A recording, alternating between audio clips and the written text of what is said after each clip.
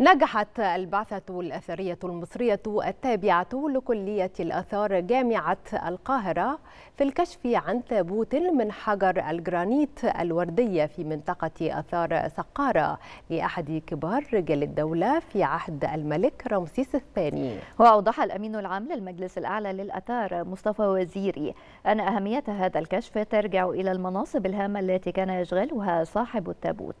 والخاصة بإدارة المعبد الجنائزي للملك رمسيس الثاني بطيبه